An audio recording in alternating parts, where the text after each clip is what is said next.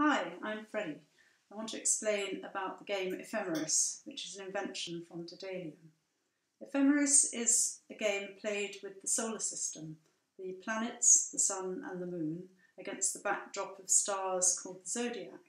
It's a strategy game for two to four players. It's total innovation and um, so the way you play is with this fourfold board and the planets are set up in groups. We have the four outer planets, Jupiter, Saturn, Uranus and Neptune, and we've coloured those blue.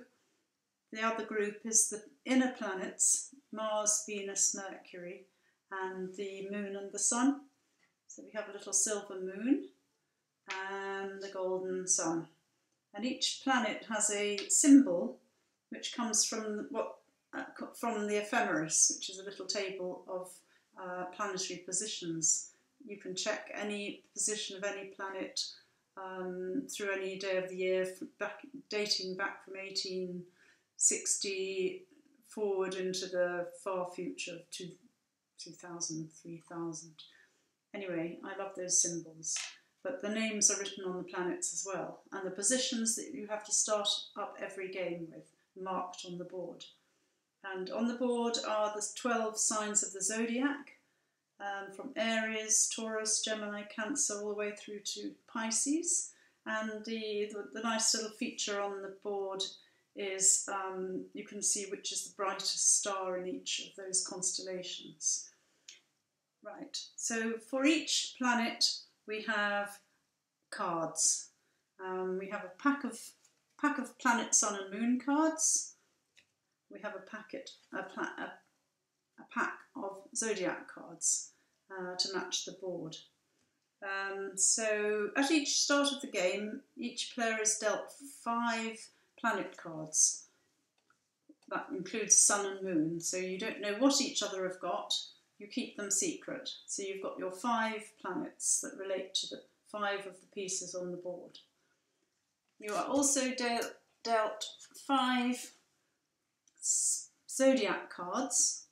Here we have Taurus, this way, Taurus, Leo, um, let me have a look because it's all back to front. Uh, we have Aries, Taurus, Leo, Cancer, Gemini.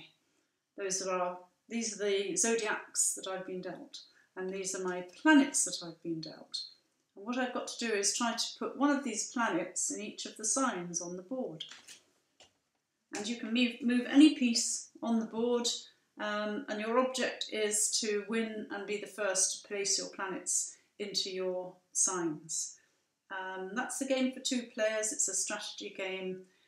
You can play it with four players. It gets a little bit more complicated with four because three or four people because you can, uh, obviously everybody can move any of the pieces. Nobody owns the pieces. Whatever you have in your hand, it doesn't mean you can't move the other pieces. And the main strategy of the game comes by this. These blue, the outer pieces, they're slow moving planets because they're so far out. They cannot move past the, the inner planets or the moon or sun. So those blue ones can be blocked at any time by the moon, sun or a red piece. The inner planets can overtake each other, they can't overtake the moon or sun. That's a kind of blocking strategy that the sun and moon have. If you move the moon to Jupiter, you, nobody could move Jupiter, for instance, because nothing can go past the moon. Not even the sun in this game can go past the moon, because the moon is the fastest. It moves around in 28 days, whereas the sun takes a, a year to go past, as you know.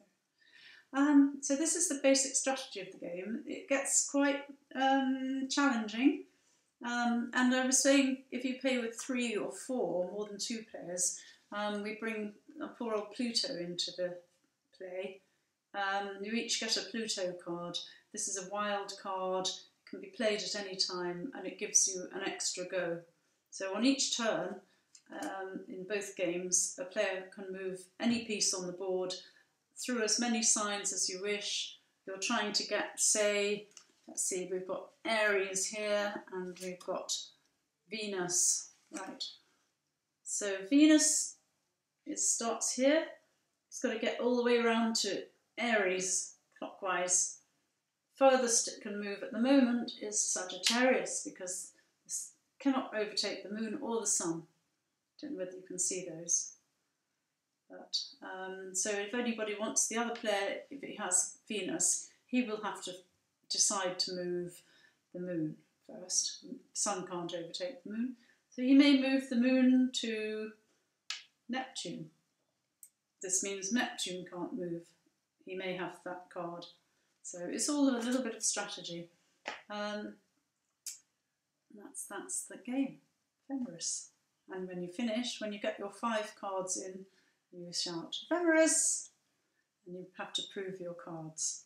Um, second game in the box, much more of a family game, is played with a pack of quiz cards.